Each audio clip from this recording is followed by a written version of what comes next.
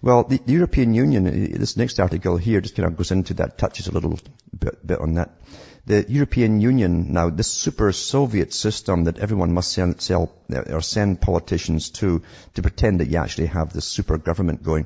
The, the EU blows a staggering 230 million pounds uh, on sending members of the European Parliament and the, their bureaucrats to the Seychelles and other paradise destinations. Well, that's not corruption or nothing. They probably just need a break from all the hard work that they do, you know, scamming the public.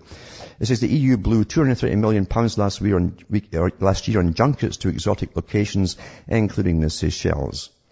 Uh, members of the European Parliament and bureaucrats enjoyed dozens of taxpayer-funded trips and fact-finding missions in 2010, the research reveals. They even go to the, to see the red light districts in, in, in Amsterdam and stuff like that, you know, just to get tips on how to run their own countries.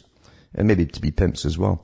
A visit for seven members of the European Parliament to the Seychelles cost £50,000 in hotel and travel expenses, while £77,000 was spent on a trip for 45 to Kinshasa in the Democratic Republic of Congo. And it says both trips put climate change high on the agenda. Uh, climate change, no kidding, the fact that they're jetting all over the planet. It says despite the fact that the flights, the flights generated more than 90 tons of carbon dioxide. Well, I wonder if they really did that too. The cost of the trips was revealed by Open Europe, a think tank that campaigns for greater transparency in Brussels. Well, they give you a frosted glass transparency, and that's as much as you're going to get, folks, because this is just this is scratching the surface of the incredible corruption that goes on in every government across the planet.